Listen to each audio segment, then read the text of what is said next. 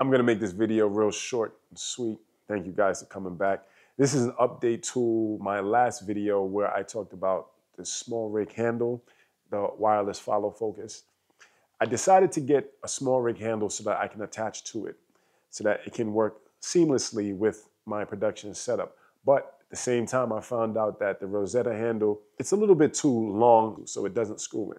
Yes, I could jimmy rig it and cut it, but I don't want to spend that much money on something that I actually have to mess up. I went through the whole process. I tried to switch out one of the handles, switch out one of the pieces, did everything for it. It just wasn't working.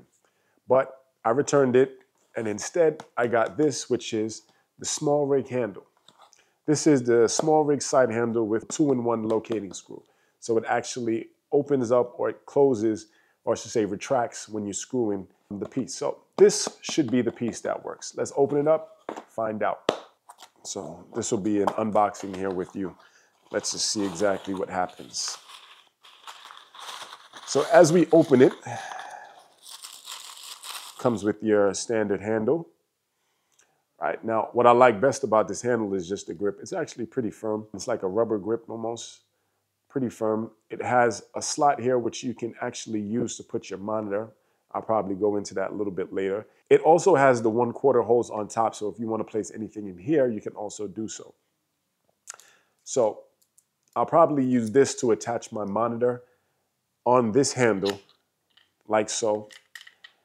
Take off my monitor because right now it's currently showing me, but I'll display it when I get to it later. And I can use this in conjunction with the wheel so that now I can get the perfect focus while on set. Let's go through the process. So we have our handle.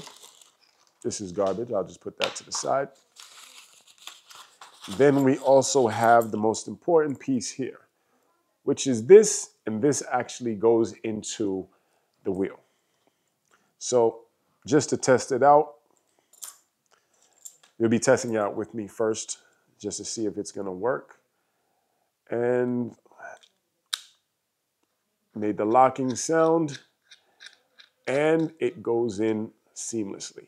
So right there, we can see that this will be attached to my handle. So what we'll do from here, I'll leave this just like so. Then I'll unscrew the back piece because this is what actually connects to the handle. And once I get this out, of course, um, I'll attach it to the handle. And the good thing about this handle is that it also comes with its own Allen wrench. So if you ever have to set up and unscrew in a scenario like this, it makes the process easy.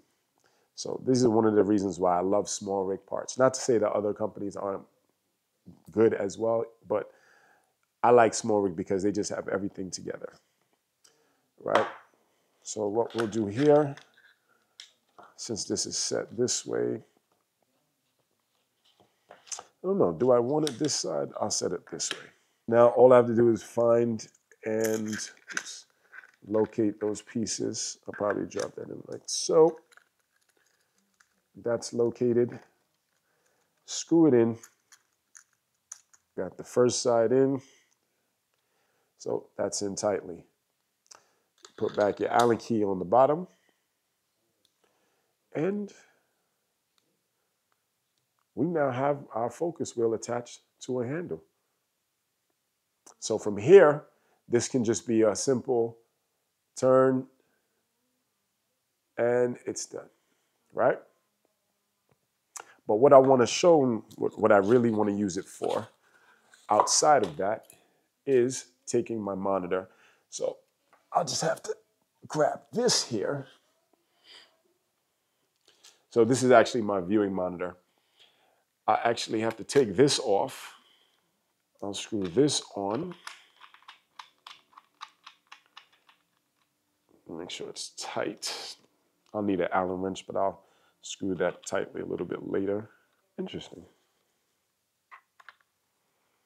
Ah, that would make sense if it's not screwed, right?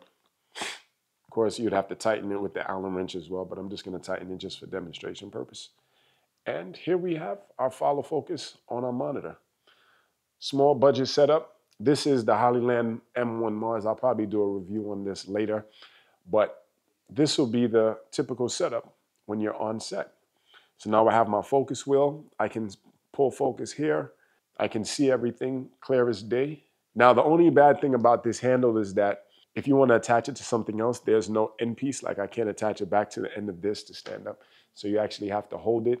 Or when you're just putting it down, you just have to put it down in some safe location. Otherwise, I say that this was a good buy. I'll put a link in the description for this part. This is once again the side handle with two-in-one locating screw.